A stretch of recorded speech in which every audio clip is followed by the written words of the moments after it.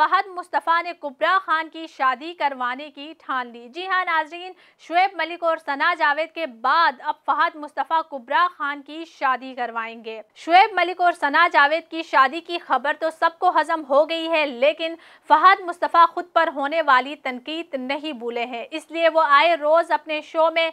अब भी सार्फिन को तंजिया अंदाज में इस शादी के हवाले से कुछ ना कुछ जुमले बोलते रहते हैं। इसी तरह से उन्होंने कुबरा खान के साथ भी ऐसा ही कुछ किया। आए नाजरीन, वीडियो देखते हैं। शादी कब कर रही हैं आप?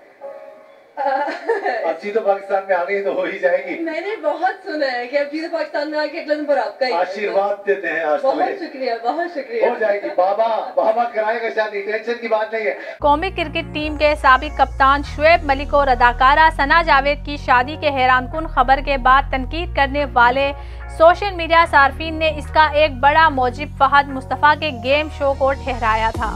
शादी की खबर अब तो सबको हजम हो गई है, लेकिन फहद मुस्तफ़ा के जख्म अभी तक ताज़ा है, जिसका इजहार वो आए रोज़ कर रहे हैं। जी तो पाकिस्तान की हालिया किस्त में टीम इस्लामाबाद की कप्तानी संभालने वाली कुबरा खान से शादी का सवाल पूछते हुए जू मानी अंदाज इख्तियार करने वाले फहद मुस्तफ़ा ने एक बार फिर तनकीद करने वालों पर तंज कर डाला। शो के दौरान फहद ने पुरमजा अंदाज में कुबरा की शादी का इशारा करते हुए उष्णा शाह, सना जावेद और क्रिकेटर शुएब मलिक जैसी मशहूर शख्सियात की हालिया शादियों का हवाला दिया।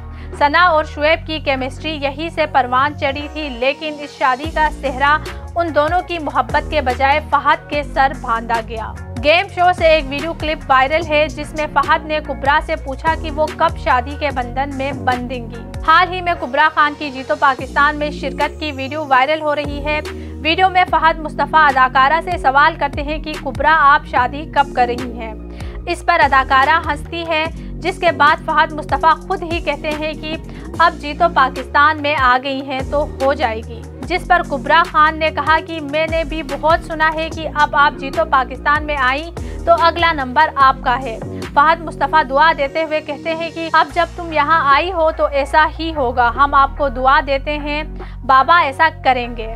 सोशल मीडिया सार्फिन फहद मुस्तफ़ा के तंज को बखूबी समझते हुए इस वीडियो से महजूज हुए और पुरमज़ा तबसरे भी किए बहुत से सार्फिन ने मजाहिया अंदाज में इस शो के मैच मेकिंग प्लेटफॉर्म में तब्दील होने के बारे में भी बात। वैसे शादी फिल वक्त कुबरा की तरजीहत में सबसे आगे दिखाई देती है।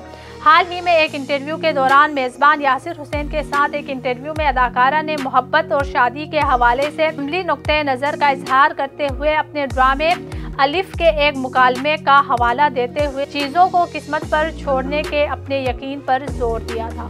फॉन इंटरटेनमेंट की वीडियोस देखने के लिए, हमारा चैनल सब्सक्राइब कीजिए और बेल के आइकन को भी क्लिक कीजिए ताकि आप हमारी तमाम आने वाली वीडियो से बाखबर रह सकें।